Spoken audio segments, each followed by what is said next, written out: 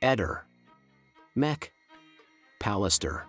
Il giorno 14 dicembre 2021, verso le ore 22, il marito di Liliana Resinovic presenta presso la questura di Trieste denuncia di allontanamento volontario di sua moglie.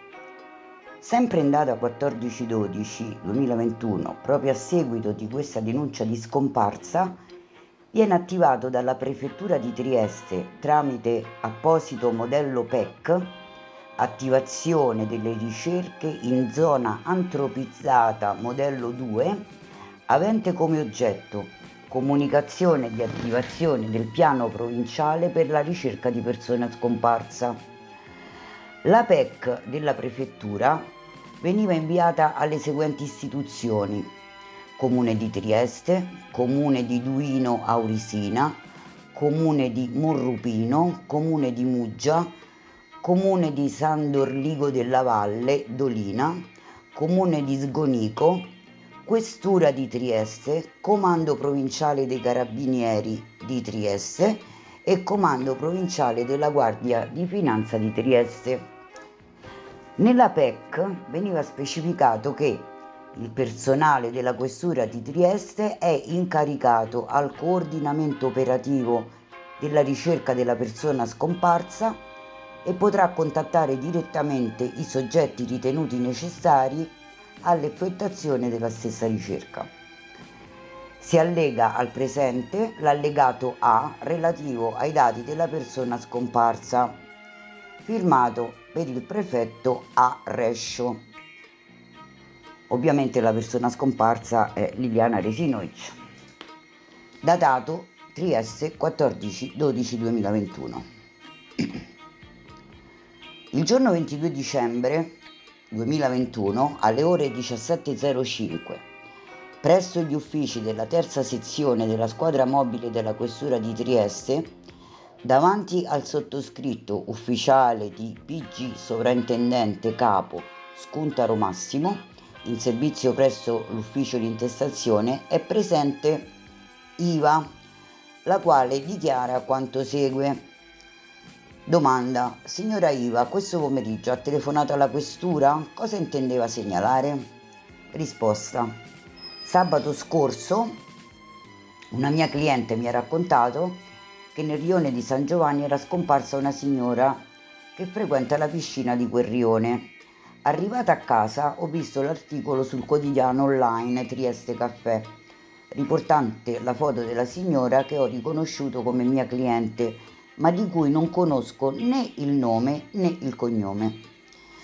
Si dà atto che alla signora Iva viene posta in visione la foto sotto riportata sul quotidiano online Trieste Caffè la signora Iva dichiara che la sottoeffigiata foto è quella da lei sopra descritta in cui aveva riconosciuto la sua cliente. Lunedì non mi davo pace e ho chiamato la questura per verificare la fondatezza della notizia, ovvero sia la scomparsa della signora, ma l'operatore mi rispondeva di non poter dare informazioni, consigliandomi di chiamare i carabinieri di San Giovanni. Martedì 21 dicembre ho chiamato i carabinieri. L'operatore mi rispondeva che nella loro stazione non era stata presentata nessuna denuncia di scomparsa. Stamattina ho visto il quotidiano online Trieste Prima dove era riportato un altro articolo dedicato alla scomparsa della signora. Ho quindi pensato che il fatto sia vero e non una fake news e ho deciso di chiamare il 112. L'operatore mi ha passato la questura e ora mi trovo qui perché volevo riferire che martedì mattina 14 dicembre mi ricordo senza ombra di dubbio di aver visto passare sul marciapiede davanti al mio negozio la signora in questione, vestita con lo stesso giubbotto che lei indossa nella foto pubblicata da Trieste prima. Si dà atto che alla signora Iva Viene posta in visione la fotografia presente sul quotidiano online Trieste Prima nell'articolo datato 21 dicembre 2021 a firma di Stefano Mattia Pribetti, avente titolo Donna scomparsa a San Giovanni, la testimonianza del marito, Non me lo spiego, sono disperato. Iva riconosce la foto in argomento. Domanda, si ricorda l'ora che, che l'ha vista transitare davanti al, al suo negozio? Non mi ricordo l'ora precisa, però dovrebbe essere passata in un periodo di tempo che va dalle 8.15 fino alle 9. Oltre al giubbotto di colore scuro, come ho già detto, la donna indossava un paio di pantaloni di colore scuro, senza berretto e con la stessa pettinatura come nelle predette foto, col ciuffo di colore più chiaro e mascherina di cui non ricordo il colore. Non ho visto uh, che portava oggetti con sé, Posso aggiungere che aveva lo sguardo rivolto a terra, come una persona triste, pensierosa e si dirigeva in direzione Piazzale Gioberti. Ripeto che era una mia cliente, ma non di quelle fisse. Veniva ogni tanto, sempre da sola, più spesso in estate. Quando veniva era riservata, ordinava e usciva dal negozio. Di rado ho visto suo marito. Sono titolare di quel negozio da nove anni e nel corso di questi la donna mi aveva regalato alcuni coltellini che il marito non poteva più affilare ma che per il mio lavoro andavano benissimo. In queste occasioni la signora mi aveva raccontato che il marito, di cui non conosco né il nome né il cognome, per hobby si dedica ad affilare coltelli. Nelle occasioni in cui l'avevo vista mi aveva raccontato che il marito aveva la passione della fotografia e che a lei piaceva camminare. Posso aggiungere che sempre la signora tempo addietro mi aveva mostrato una foto di loro due in moto e che era andata in pensione. Questo mi sembra sia avvenuto prima del Covid. Domanda. Per caso tra i suoi clienti qualcuno ha commentato qualcosa in merito alla scomparsa della signora? Oltre a quanto riferitomi dalla mia cliente sabato, nessuno mi ha detto niente. Per caso la signora e il marito sono mai venuti nel suo locale assieme? Da quanto ricordo, no. Sa se avesse qualche amicizia nel rione? Da quello che ne so, no. Posso aggiungere che ogni tanto la vedevo nel bar, che si trova all'angolo tra via San Cirino e piazzale Gioberti, ma sempre da sola. Ha altro da aggiungere? No. Si dà atto che il presente verbale è stato redatto in forma riassuntiva e viene riletto, confermato e sottoscritto in data e luogo di cui sopra alle ore 18. Analizziamo ora quanto finora esposto, quindi l'attivazione del piano provinciale delle persone scomparse e la testimonianza della signora Iva. Ci sono parecchie incoerenze che balzano subito agli occhi. Partiamo subito dalla prima, che secondo me è quella più grave in assoluto. L'attivazione la sera stessa del 14 dicembre da parte della prefettura del piano provinciale persone scomparse. Come ho letto in precedenza, questa comunicazione viene inviata, oltre a varie altre istituzioni, anche alla questura di Trieste stessa, dove era stata presentata la denuncia di scomparsa di Lilli, e al Comando Provinciale dei Carabinieri di Trieste. Come è possibile allora ciò che dichiara Iva in SIT, e cioè che, che lei chiama la questura, dove è stata formalizzata anche la denuncia di scomparsa, e dove alla stessa questura veniva inviata la PEC dalla prefettura, e cioè del piano di attivazione provinciale delle persone scomparse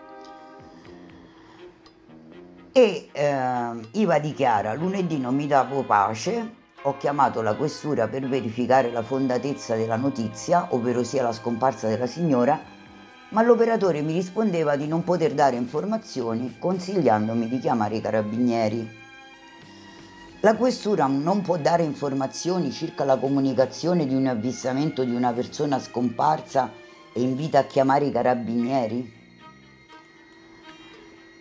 Successivamente, martedì 21 dicembre, ho chiamato i carabinieri. L'operatore mi rispondeva che nella loro stazione non era stata presentata nessuna denuncia di scomparsa. Ma allora la PEC arrivata dalla prefettura non l'aveva letta nessuno? La cosa sembra veramente molto, molto strana e non plausibile. Riprendiamo con la testimonianza. Iva in SIT dichiara inoltre Ripeto che era una mia cliente, ma non di quelle fisse. Veniva ogni tanto, sempre da sola, più spesso in estate. Quando veniva era riservata, ordinava e usciva dal negozio. Di rado ho visto il marito. Poche righe dopo, invece, si legge che la donna mi aveva regalato alcuni coltellini che il marito non poteva più affilare, ma che per il mio lavoro andavano benissimo. In queste occasioni la signora mi aveva raccontato che il marito, di cui non conosco né il nome né il cognome, per hobby si dedicava ad affilare coltelli.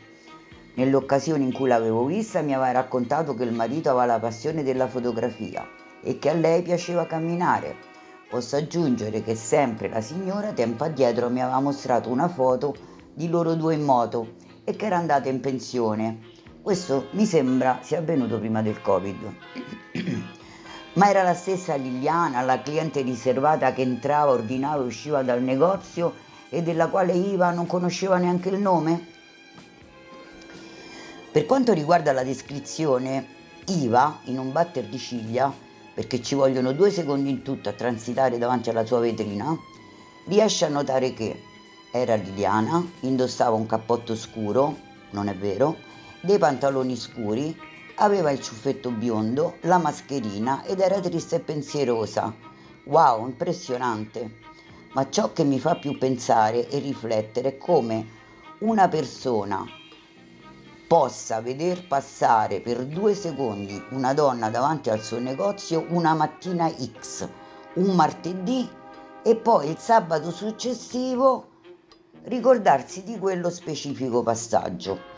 Credo che la memoria fissi degli eventi particolari, traumatici, speciali in qualche modo, ma non un fatto così banale come il passaggio di una persona, come ne vediamo tante passare davanti ai nostri occhi e ricordarcene. Non darsi pace, ma chiamare la questura il 21 dicembre, una settimana dopo l'avvistamento. Come si fa a essere così certi, non avere alcun dubbio che la persona vista otto giorni prima passare per due secondi davanti al suo negozio fosse Liliana, ma ancora di più, come faceva a ricordare chi fosse passato davanti al suo negozio? Ehi, non dimenticare di iscriverti a questo canale.